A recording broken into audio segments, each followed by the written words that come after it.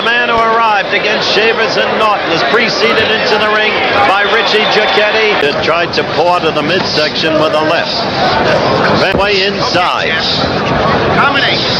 We're a minute 45 seconds into the first round. Right age were widely surprised tonight. Kenny never looked better. Good right uppercut by Ernie Holmes.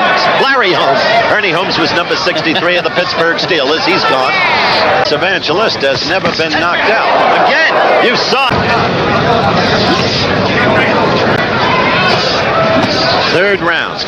Harry is not using himself up. He is staying flat-footed. Again, Evangelista trying to get in, left himself open to the Holmes right.